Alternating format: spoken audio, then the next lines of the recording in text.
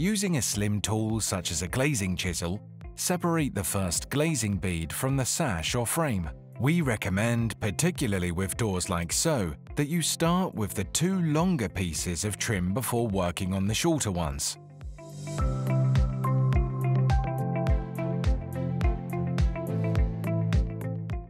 Once the first longer bead is separated, repeat with the other in an identical fashion.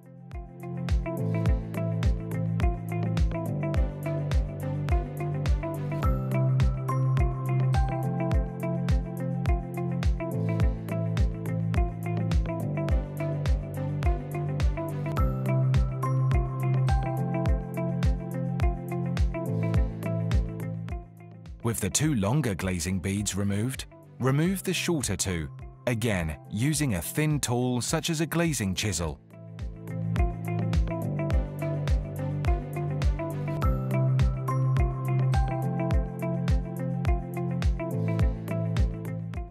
Make a note of the bead positions as you remove them to ensure that they are fitted back in an identical position.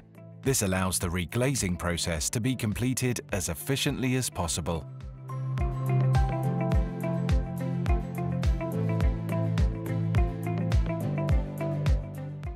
With all four pieces of trim removed, you can delicately remove the glass unit from the door and replace where needed.